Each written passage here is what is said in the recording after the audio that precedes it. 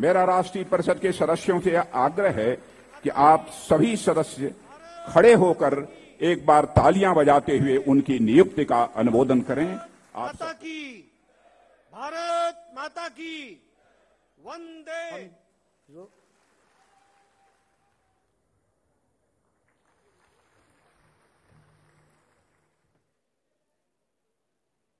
भारत माता की भारत माता की।